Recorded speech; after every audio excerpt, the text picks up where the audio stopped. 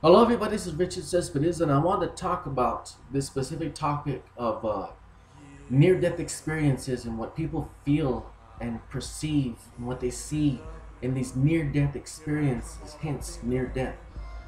Uh, I want to um, completely debunk and demystify the experience of near-death when you see he- uh, hell, hell and the demented dark places. Hell doesn't exist, and demented dark places don't exist. Satan doesn't exist. Um, dark spirits exist, but they're spirits that are lost. But he- uh, but hell doesn't exist, and demented dimensions maybe they exist, but you have to, as a spirit, you have to travel there to see them. You have to you know, want to go. But hell doesn't exist. Near-death experiences. When people say that when they die, they say that they see hell and they see this heaven.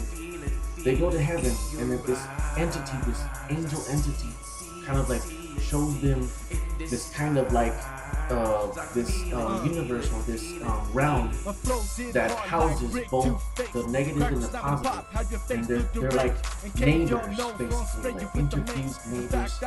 You know, they're just there. You know, like dirt and grass. They're just there. You know, um, they're, they're connected. And I wanna and I wanna debunk and demystify that there is no hell. When you die, you don't go to hell. Even Hitler is in heaven. Hitler is in heaven.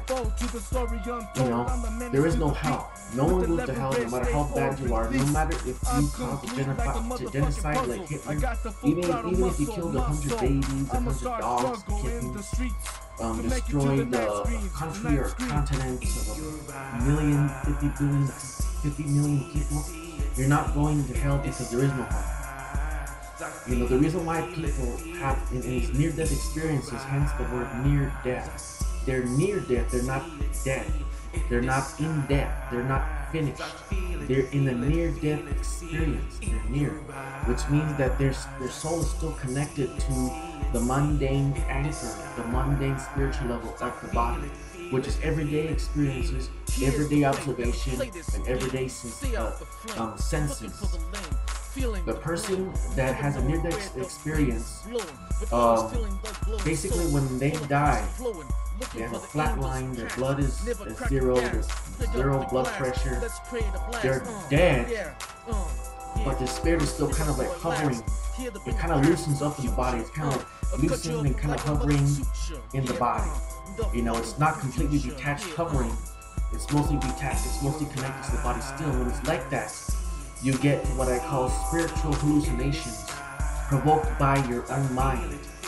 You know, provoked by the neuroactivity, the residual neuroactivity of your dead body and the fears and, and, and anxieties of, of your body, of your ego and psyche.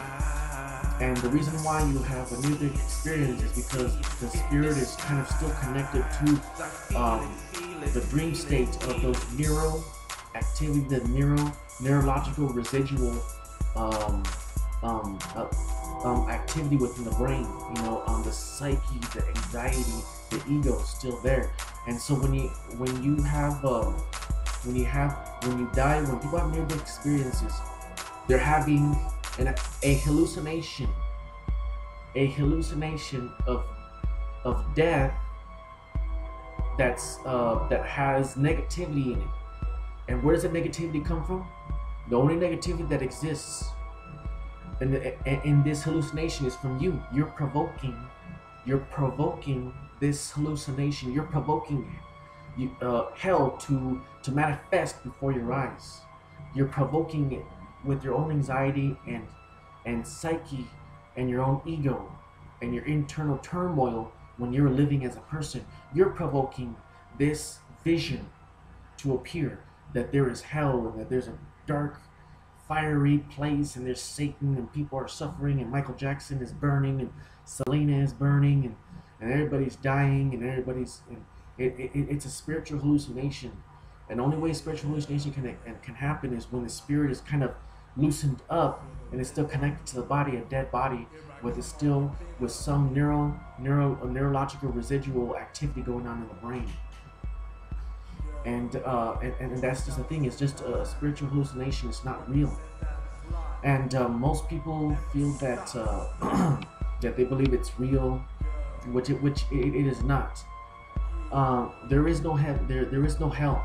There is a heaven, and heaven is basically within the quantum foam our experiences that are happening around us. It's in the quantum foam, and the reason why um, you you have these this spiritual hallucinations because the body is the spirit is still connected to the body, and the spirit is still kind of has slight tethering, slight small um, quantum tethers, kind of still hanging in in the psyche of the mind.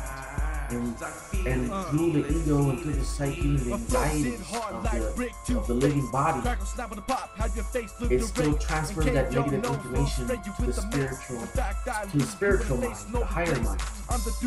And when it's, that's a near-death experience, near, near it. And when, when you're in a near-death experience, you're gonna have a hallucination because the body is still tethered within the spirit, and the spirit is tethered to the body, and they're gonna have these kind of like clashing.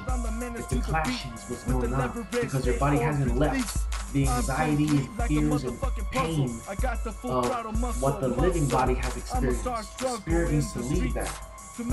Once it detaches, then you have ultimate death, final death. Final death is the true is, is a true experience of positivity. True death is no anxiety, no fears, no no um, negative visions of hell or devils or disembodiment, negativity, things, ugly things. Once you detach from the body, the spirit needs to completely detach from this this uh, this cesspool of pain and anger and anxiety to completely immerse itself into a spiritual world, the quantum foam of space and time, the universe. Once it does that, then it's going to be in positive, positivity forever. And that's why I wanted to make this, video that the spirit, that the, that the spirit realm is total positivity. When you die, you're not going to go to hell. You, you will see a light. You will see your relatives. When you do, when you see a relative, hold on to them. Let them take you away. Let, let your dead relative take you away. Don't fight them. Don't be a lost soul. Don't wander around in the, in the living world. Let your spirit take you. No matter about the archons and all the other crazy conspiracy, just let yourself be at peace.